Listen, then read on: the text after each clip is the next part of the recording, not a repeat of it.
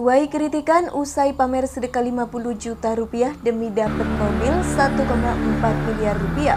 Wirda Mansur sedikit sih tapi doain.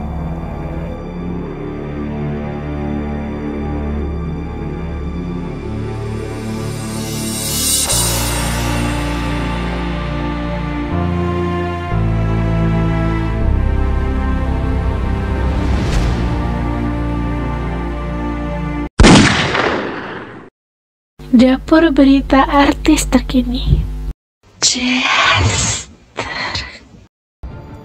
Hai guys, semoga kabar Anda baik-baik saja. Selamat datang kembali di channel Duster Infotainment.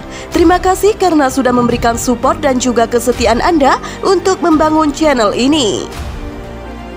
Sosok Wirda Mansur memang selalu menjadi sorotan. Seperti baru-baru ini Wirda Mansur menyinggung soal keajaiban yang ia dapatkan. Pasalnya Wirda Mansur yang baru menyedekankan uangnya sebesar 50 juta rupiah kini mendapat balasan berupa mobil senilai 1,4 miliar rupiah. Awalnya Wirda Mansur menyebut bila dirinya memang tengah menginginkan mobil tersebut. Namun Putri Ustadz Yusuf Mansur itu mengaku tak mau langsung membeli. Dikutip dari akun TikToknya, Wirda Mansur tampak memamerkan momen sedekah tersebut.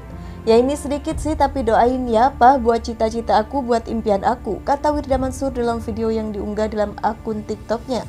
Ia kemudian mengklaim bahwa uang 50 juta rupiah yang diberikan kepada Yusuf Mansur bukan hal besar bagi sang ayah. Ini sedikit sih memang tapi yang dilihatkan ketulusan gue, keikhlasan gue buat milenial anti bokeh komunitas yang didirikan Wirda Mansur, imbuhnya. Setelah memberikan uang 50 juta rupiah, Wirda Mansur mengaku bahwa dirinya sebenarnya ingin membeli mobil. Namun niatnya diurungkan karena ia ingin mempercayai keajaiban setelah bersedekah. Gue kan niat mau beli mobil, lihat Instagram terus ngucap dalam hati, ya Allah pingin banget ini mobil, kan bisa aja gue beli mobil tapi gue lagi menunggu keajaiban Allah gitu bebernya. Karena ada yang bilang kalau kita ngasih, Allah pasti kasih lebih, bahkan bisa dikasih 700 kali lipatnya, lanjutnya. Wirda Mansur pun lantas bercerita bahwa ia mendapat keajaiban bersedekah itu tanpa sadar. Bokap gue bilang, Kak ada tamu nih ke rumah terus gue disuruh nemenin tamunya. Terus nyamperin ke rumah bertemu sama beliau. Gue nggak ada bilang soal mobil. Gue tahu sedikit tentang mobil terus gue ceritalah tentang velg tuturnya.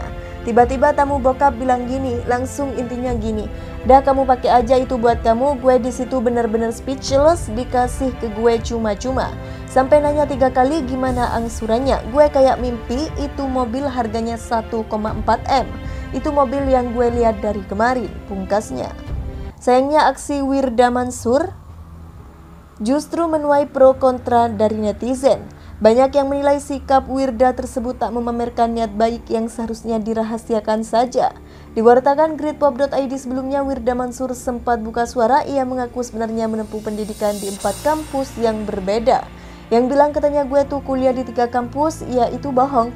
Karena sebenarnya bukan tiga tapi empat say, terang Wirda Mansur.